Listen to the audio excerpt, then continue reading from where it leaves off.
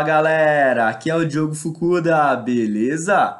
Sejam bem-vindos a mais um vídeo do quadro Coach Motivacional, um quadro que eu tenho enorme prazer de estar trazendo nessa nova fase do canal. No vídeo de hoje, a gente vai falar um pouco sobre a arte de tomar decisões difíceis, porque em algum momento da vida, por bem ou por mal, a gente sempre vai ter que tomar alguma decisão mais complicada e que tem implicações ao longo prazo da nossa trajetória. Eu vou falar do meu caso pessoal. Eu estava num dilema no começo do ano, porque vou explicar direito a situação. Atualmente estou no quinto ano de medicina. Desde o primeiro ano de faculdade, eu tava com uma ideia muito forte de prestar neurocirurgia, porque eu gostava muito de assistir as cirurgias do centro cirúrgico, vou lá é, recorrentemente acompanhar os processos cirúrgicos nas horas vagas. Gosto muito de ficar assistindo, sempre aprendo alguma coisa nova quando eu vou pro centro cirúrgico. E, cara, eu também gostava de estudar o sistema nervoso. Tanto é que eu acabei me encantando pela neuroanatomia quando eu estava no primeiro ano, que é basicamente a anatomia do sistema nervoso, envolvendo cérebro, nervos periféricos, medula espinhal, etc.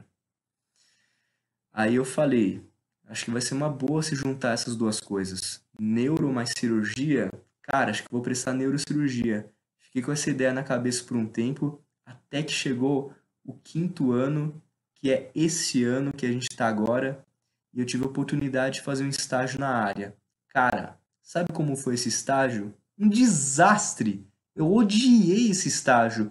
Cara, não gostei muito das pessoas de convivência, não gostei da rotina, não gostei do trabalho, não gostei da vibe do lugar que eu tava no geral. Aí eu falei, putz, cara, e agora? Tava num dilema, porque do primeiro até o quinto ano, até então, eu tava cogitando seriamente fazer essa especialidade depois de formar em medicina.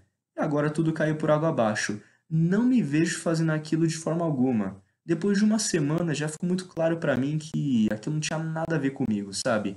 Seria um esforço hum, desproporcional à minha realização pessoal. É como se eu tivesse que prestar uma prova de residência, uma das mais concorridas que tem no país, entrar, ficar mais cinco anos nessa área com certo desgosto, não sendo aquilo que eu queria fazer de verdade. Tanto é que nessa área costuma haver desistência, galera. Não é todo mundo que aguenta. Tem uns que não aguentam e tem uns que simplesmente saem porque não gostaram. Ainda bem que eu tive a oportunidade de conhecer essa área de perto, vivenciar a rotina. Porque imagina se eu tivesse entrado na residência médica de neurocirurgia. Ia ficar uma semana e provavelmente ia pular fora. Porque não é isso que eu quero fazer na minha vida. Não mesmo. Enfim, é uma decisão muito séria esse negócio de escolher especialidade médica.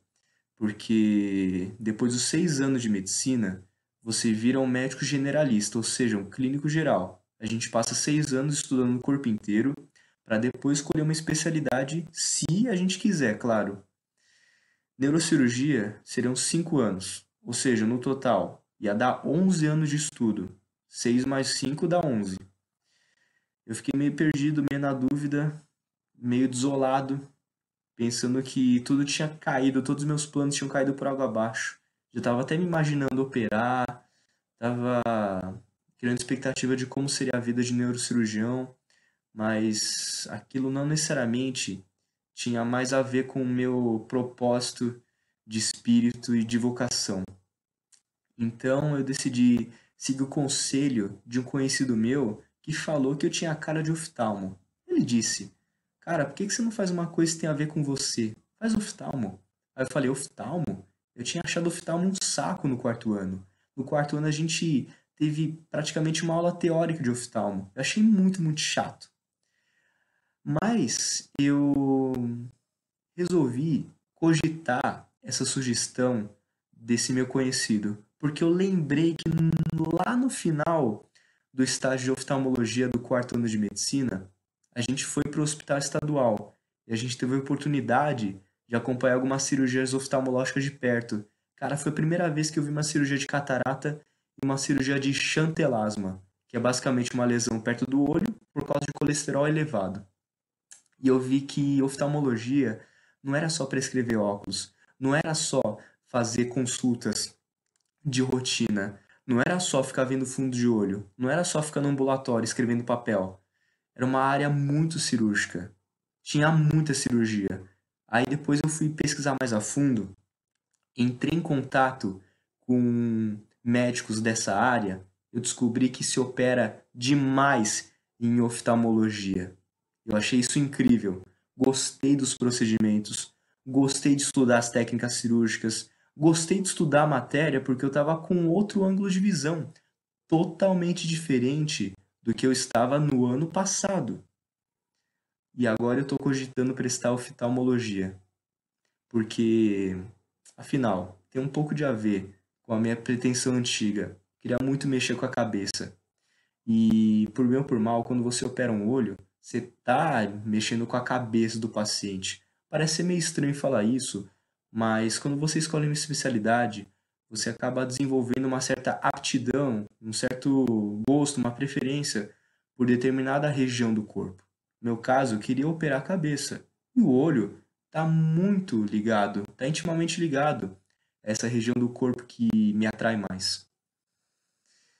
Bom, a lição que eu posso deixar para vocês é o seguinte: tomar decisão difícil não é fácil, até porque é uma decisão que, no meu caso, vai durar por muitos e muitos anos. Depois de seis anos de medicina para virar um médico generalista, um clínico geral, são mais três anos de residência médica em oftalmologia. E é uma formação que tende a durar para o resto da vida. Então não é fácil. Uma decisão que você toma em cinco minutos às vezes pode impactar 80 anos da sua vida que você vai ter pela frente.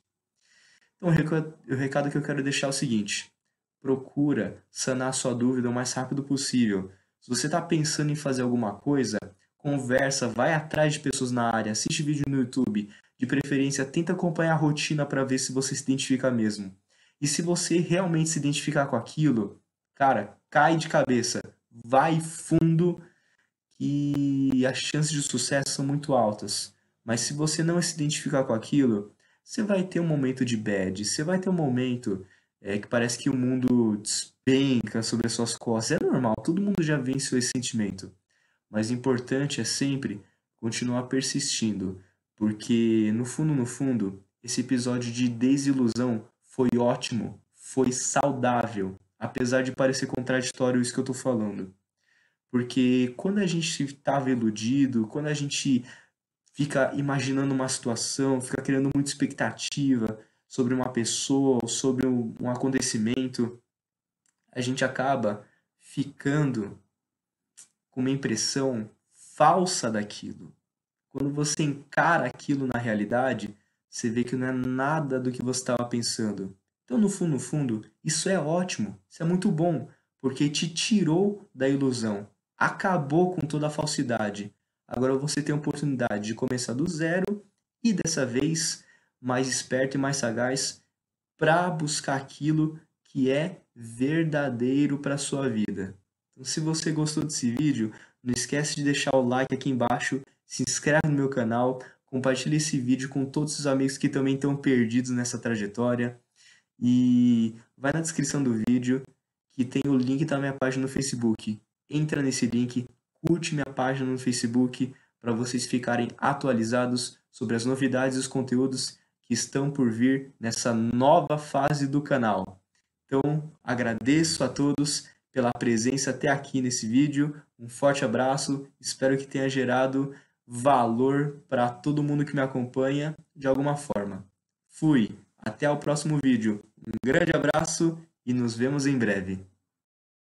Fala galera, meu nome é Kleiner e hoje eu tô aqui pra agradecer a um cara que é sensacional. Oi, eu sou Estelle, faço engenharia florestal na Unesp de Botucatu. Eu acho que é importante também para conseguir agradecer o Diogo por todo o apoio que ele me deu nessa trajetória que eu obtive. O está assim de parabéns, nós estamos felizes torcendo por você. Um cara que eu nem diria que é nota 10, é um cara nota 12. Motivos por eu ter conseguido entrar na faculdade foi pelo canal do Diogo. O Diogo teve um papel muito importante em ambas as aprovações que eu tive. Cara, foi algo que deu super certo, porque recentemente eu fiz a, a o vestibular da FAMERP, né, Faculdade de Medicina de São José do Rio Preto. 222 pessoas por vaga, muito concorrido mesmo, bem mais concorrido que a USP. E, cara, eu consegui um resultado muito bom mesmo, uma redação com resultado sensacional. Eu estudava por videoaulas. Uma dessas videoaulas foi a Diogo, que acabou ajudando bastante, porque falava de faculdade, é, ajudava em questões de vestibulares. E um desses motivos foi eu ter conseguido passar no Nesp. Eu recebi hoje a ligação de ter sido aprovado na medicina do ABC. Assistia os vídeos do Diogo quando eu tava prestando vestibular e eles com certeza me ajudaram muito. Mesmo faltando ali uma semana para a prova acontecer, ele conseguiu dar todo um apoio em relação à forma como deveria portar durante a prova. Então ele conseguiu me ajudar a encaixar um cronograma de tudo bem legal, bem forte assim, para quem quer medicina. E eu já agradeci o Diogo numa conversa que teve alguns dias, mas vou agradecer novamente. Uh, muito obrigado, Diogo. Você com certeza foi, foi um dos meus principais mentores. Então, muito obrigado, Diogo. E eu acho que sem você a aprovação não teria sido como foi. Peço que Deus te abençoe, que você chegue no topo de tudo que você sonhou e pensou no ramo da medicina. Uhum. E a gente gostaria muito de não perder o contato contigo. Convocado para a final da Olimpíada Paulista de Matemática que ocorreu na Politécnica da USP, lá em Pinheiros, em São Paulo. E, cara, algo sensacional. Muito, muito bom mesmo. Jamais teria conseguido ser o Diogo. Por isso que eu só tenho a agradecer ao Diogo. Valeu, Diogão.